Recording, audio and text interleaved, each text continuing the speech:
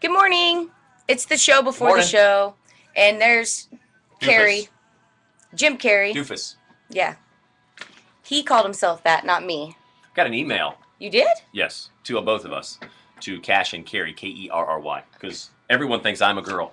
And you're not. Everyone thinks I'm the Cash and you're the Carrie. I am the Cash. Natalie Cash. Jim Carey. Cash Carrie. and Carey. C A R E Y. yeah. That's just a minor thing. This is the show before the show. And a whole lot more. Yeah. Today is gonna be awesome because it's Thursday. Tomorrow's Friday, and um, yeah, because we're awesome too. There's a uh, there's a guy who got a tattoo. I I don't do tattoos, but and that's cool if you do. But um, but he found the coolest way to get a tattoo. You have your kiddo design it for you. You know, your kids make all these pictures and they're drawing and you're sticking it on the fridge, or you take that one to work and you're like, this is the coolest picture. This is the one I want. "Yeah," and then the next week you get another one, but you're like, oh, this is the best. But usually there's that one. Well, he said, hey, I want this like right here. So he had it tattooed on himself.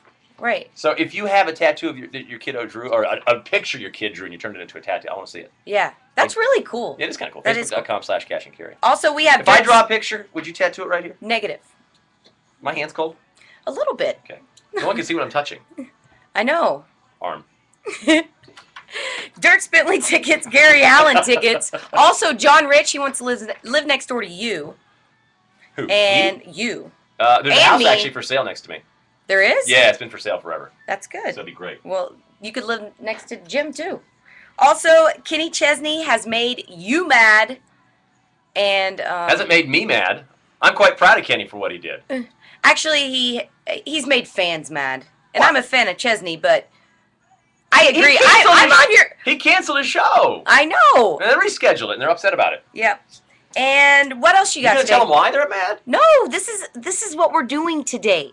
If we tell them, there's going to be like geniuses out there, like Ryan Seacrest. He's going to come steal our ideas for our show if we tell them everything. Really? really? They could if they find out about the show before the show. They could. They Yeah. could. Hey, if you didn't listen to uh, yesterday's show after the show, hmm which came before the show before the show with a whole lot more. The show after the show, it's the podcast, which you can always hear at k955fm.com. It's actually on the homepage, also on the Cash and Carey page, also Yep. facebook.com slash Cash and Carey. But, and iTunes.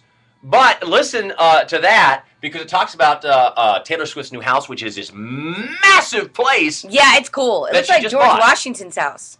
Yeah, it is. Minus the cherry tree. Yeah. Because George, you know, chopped it down. Uh-huh. But we, we will we'll tell you how to get the pictures and to see them. There are and they are just. I mean, this house. My wife saw pictures of it and she's like, "Oh, I want to live there." Really? Yeah. I wouldn't want to live there. And I said, "Honey, you know how much that costs? How much was it? 4.5?